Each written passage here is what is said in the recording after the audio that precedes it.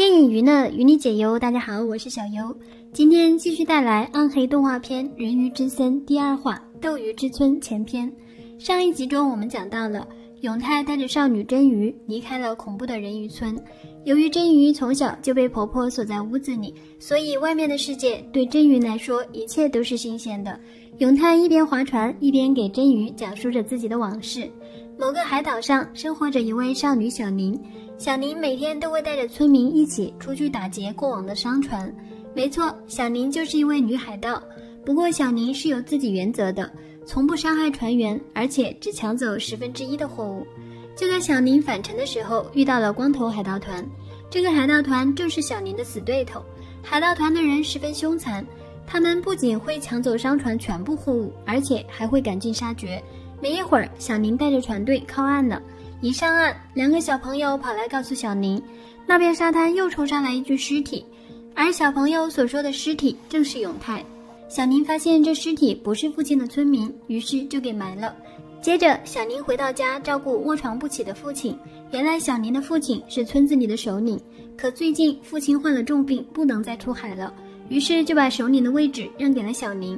第二天，小宁过来祭奠昨天埋葬的陌生人。就在小宁献花的时候，土堆突然动了起来，紧接着永泰就从里面钻了出来。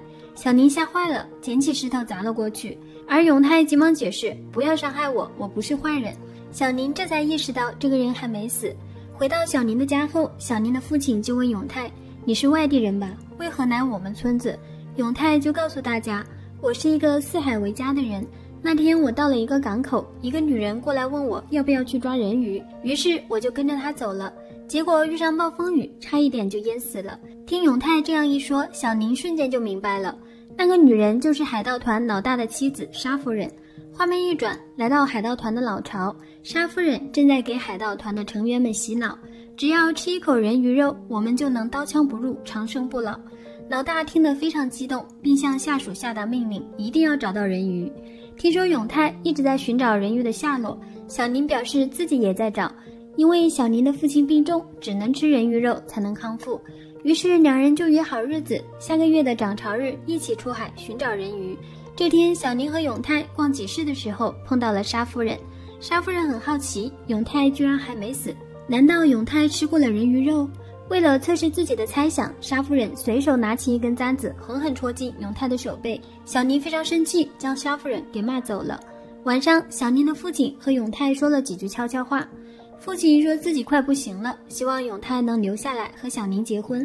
虽然永泰没有口头答应，但永泰已经默默下了决定，只要自己变成了普通人，一定和小宁在一起。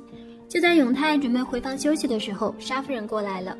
看到永泰伤口愈合了，沙夫人可以肯定永泰是吃过人鱼的。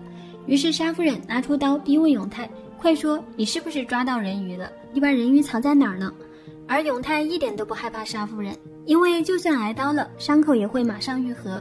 见永泰如此刚烈，于是沙夫人就把刀刺进了小宁父亲的胸口。沙夫人笑着说：“快把人鱼拿出来吧，不然他就死了。”听到动静，小宁急忙冲了进来。看到父亲受伤了，小宁二话不说，直接给了沙夫人一刀。这一刀直击要害，沙夫人停止了呼吸，而小宁的父亲似乎还有心跳。